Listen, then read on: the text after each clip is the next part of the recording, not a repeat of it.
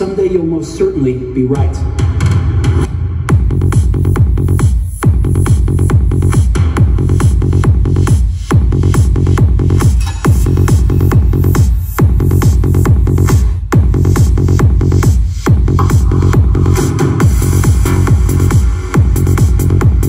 Vâng, xin chào tất cả quý vị nhé. Ngày hôm nay thì Nhật Trường cùng kỹ thuật viên đang có một đơn hàng đi lắp đặt tại khu vực à, Sóc Sơn. Đây là cái mảnh đất mà quê hương của Nhật Trường rồi. Thì ở đây ờ, combo này thì nó sẽ bao gồm hai tay Aroy quý vị nhé Đây là dòng uh, loa KR212N Đấy, công suất là sẽ là rơi khoảng tầm 1001 công suất trung bình. Đấy. Và nó sẽ có thể đấu ờ, uh, Bian để hỗ trợ chơi rời bên ngoài được quý vị nhé Phía dưới này chúng ta sẽ có một con súp KR28N Dòng uh, súp kép bát 50 công suất 1006 công suất trung bình đấy ạ. Hai combo là như nhau quý vị nhé với combo này thì hoàn toàn có thể phục vụ được cho những cái sự kiện đám cưới ở quê rất là tốt rồi. À, thông thường thì đám cưới ở quê thì à, trung bình nhà nào mà ít khách thì cũng chỉ khoảng tầm độ 80 90 mâm đúng không ạ? Nhiều thì 180 đúng không ạ? Còn cũng có rất là ít nhà mà có số lượng khách lên tới 200 mâm đó. Cái mức độ quy mô trung bình thì nó cũng chỉ khoảng tầm độ 120 cho tới trăm rưỡi thôi. 120 cho trăm rưỡi mâm thôi. Nó khoảng tầm độ 600 700 khách. Thì với những bộ dàn như này ok rồi à, thông thường những anh em mà ừ, làm về âm thanh đấy cho thuê âm thanh sự kiện như này thì có rất là nhiều các cái vấn đề các lỗi lo gặp phải. Ví dụ như là sự cố về kỹ thuật này. À, rồi thì à, lo thời tiết nó, nó bị à, đang phục vụ mà nhiều khi nó mưa gió đúng không ạ? Thế thì với những cái tủ rách như này những cái tủ thiết bị như này nó có thể giúp chúng ta chụp luôn vào cái loa. À, nó an toàn hơn rất là nhiều. Hoặc là những cái sự cố ví dụ như là khách hàng không hài lòng đúng không? khách hàng không hài lòng thì chắc chắn là chúng ta mất mối làm ăn rồi. Đấy, mất mối làm ăn rồi thậm chí là chúng ta có thể mất đi những lượng khách uy tín nữa những lượng khách tiềm năng vào các cái à, đơn vị khác thì chúng ta cũng rất là thiệt thòi. Đấy, thế thì à, à, với những bộ dàn như này nó có thể giúp quý vị làm hài lòng được điều đó bởi vì cái chất lượng âm thanh nó có khả năng lan tỏa và cũng như là thể hiện được rất là tốt ở ngoài trời. Đấy, cho nên tại sao chúng ta phải sử dụng những những, những cái dòng súp mà hơi súp kép như kia? Đấy, súp kép bát 50 công suất 1006 công suất trung bình. Và pick lên tới 6400 vì vậy mà chơi được những không gian ngoài trời như này nó mới hợp lý đúng không ạ? Nó không bị loãng tiếng. Và nó có độ ờ, phủ âm thanh rất là tốt bởi vì nó là dòng Arai cho nên là chúng ta hoàn toàn có thể mở được những cái ờ, góc này. Đây. Đấy, chúng ta có thể mở được các cái ờ, hướng cái góc độ của nó theo từng độ một để chúng ta có thể chĩa lên hoặc chĩa xuống theo tùy theo mục đích của chúng ta. Khi mà muốn đánh loa nó hướng lên cao để phóng được xa hơn hoặc là hướng xuống khán giả để tập trung cho nó tốt đúng không ạ? Sẽ có một bàn mixer cơ của Yamaha MG12U à, chúng ta phục vụ sự kiện thì chắc chắn phải cần đến những mixer như này rồi để giúp chúng ta có thể kết nối được nhiều thiết bị bên ngoài đúng không ạ? Ví dụ như chúng ta kết nối được nhiều micro dành cho cô dâu chú rể rồi là hai trưởng phái đoàn hai bên chúng ta phát biểu.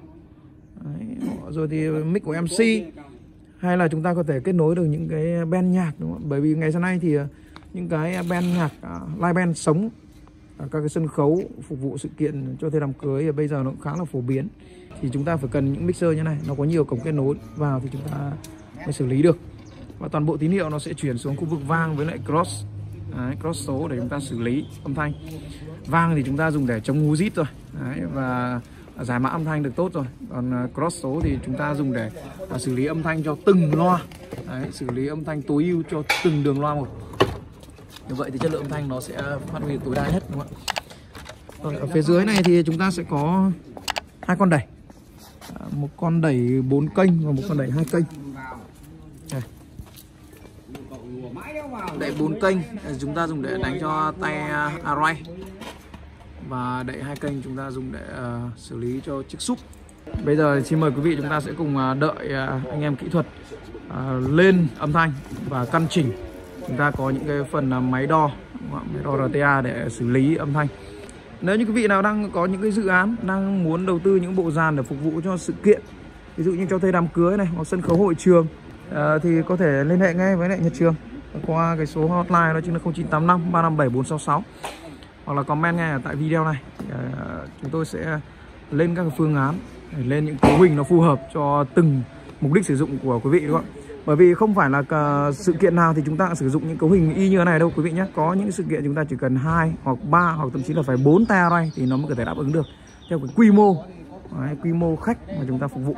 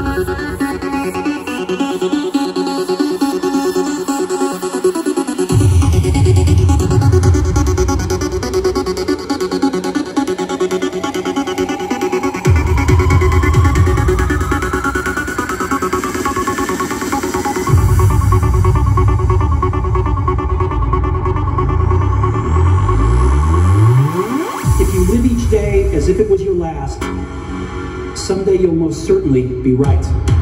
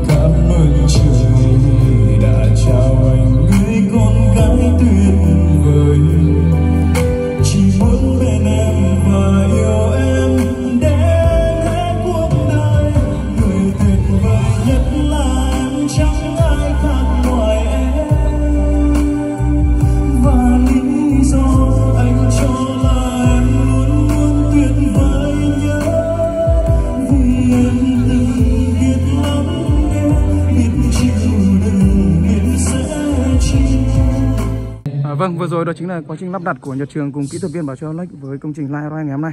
Nếu như quý vị nào đang cần đầu tư những cái bộ dàn Live à, phục vụ cho mục đích kinh doanh của mình thì có thể liên hệ với nhật trường qua số hotline 0985 357 466 để nhật trường có thể tư vấn và hỗ trợ quý vị trong thời gian tốt nhất.